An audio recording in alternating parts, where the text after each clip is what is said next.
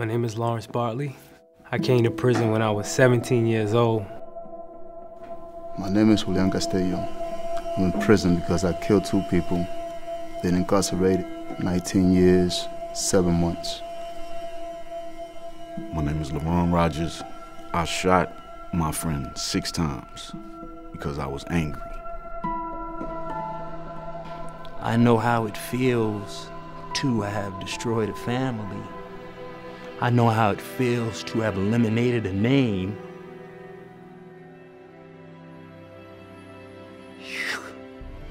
You, you can't make it right. I didn't sorry. I wanted to.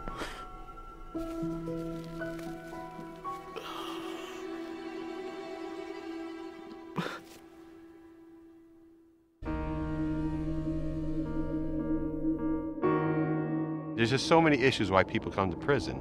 But one of the bigger issues is gun violence, and we see it every day. The men who are incarcerated for a good many years here wanted to reach out to the community to say, don't do what I do. Don't do what I have done to get here. And trying to get these 10, 11, 12, 13, 14, 15 year old kids to stop and think for just one second before they grab that weapon.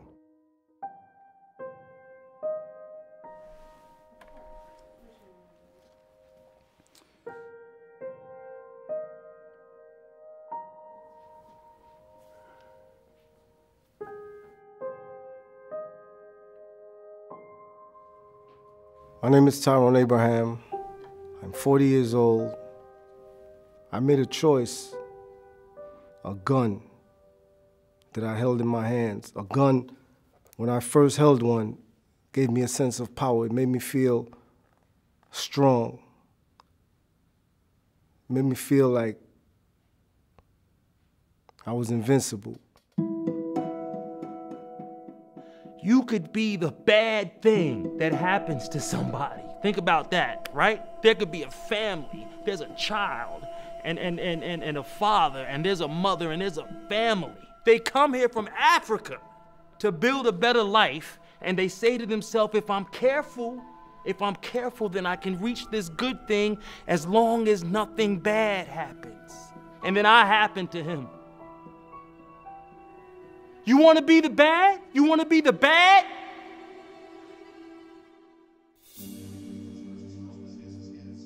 We're going through a journey, and their own guilt, that nightmare, plays back every single day to them. When I was 17, one of my friends suggested to me, why don't you carry a gun? You need this. So I took up a gun, I held it, and then this gun became my security. The bullets shot into the crowd were real last night at a premiere of the movie Godfather 3. I entered a movie theater with a group of friends. Then another group of teens came in, yelling. Pretty soon, the argument erupted between my group and that group. One of them pulled out a gun and fired it. I returned fire. Police rushed in to find four innocent victims wounded in the crossfire, two of them teenagers, including Tremaine Hall. I didn't think I was gonna hit anybody, but I did it anyway. A little boy was shot. He died that night. Another victim, a 17-year-old boy, is in stable condition tonight after surgery for a gunshot wound in the left eye. Doctors don't know yet whether they managed to save the sight in that eye. I lost the left eye. But that's not even the half of it. I'm fortunate, I'm blessed to be here. Uh, Tremaine, who's not here anymore, has given me strength. And there's not a day that goes by where I don't think about him. When I think of that, I think of what happened at my trial. His father got on the stand. his father called this kid his buddy. That was his buddy. I took his buddy away from him. Me?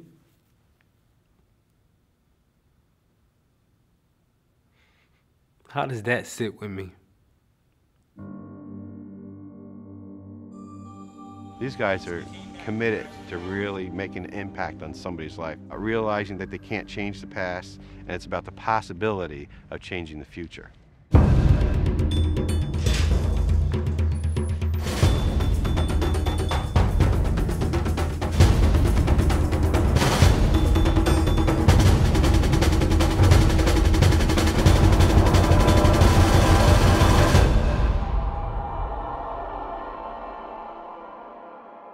There is nothing you can do to make it right.